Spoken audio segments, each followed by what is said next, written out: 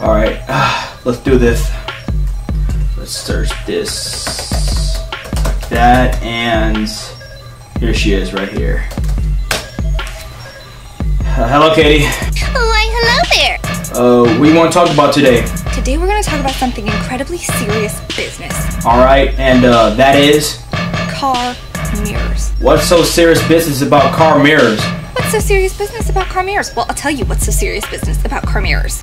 All right, how do you know this? They're from the devil, okay? And I know this Ugh, all right, well, hit me with something. because I take my little sister to school sometimes, and my classes start 30 minutes after hers do, and so I'm sitting in the parking lot going, oh, what do I do with all of this free time? And I decided that I would put on makeup. Huh, all right, your point. And that was a bad decision Oh, all right, well, how was it a bad decision? because those car mirrors enhance with you. Huh, okay, uh, what, look, are you talking about certain people? Everyone. Oh, well, you mean like, like, uh, everyone in the world? This is everyone. Oh, okay, so it's every, okay.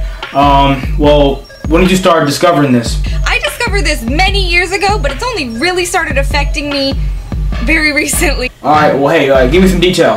because I have to do my makeup in this little ugly car mirror every single day. Ah, see, look, I understand. Uh, what, what, what are you doing? Wait, is that the way you look when it happened? I, I it look like you got like little red spots in your like. I think I think that's your pores, isn't it? Are those are those my pores? What the f? I didn't know I had such huge pores. Oh, why is all of this news coming to me today? Oh, okay. Okay. Glad I got that out of my system. Huh? Yeah. Oh, I'm glad too. Oh, look, it's uh, it's getting kind of late. I'm gonna talk to you later, okay?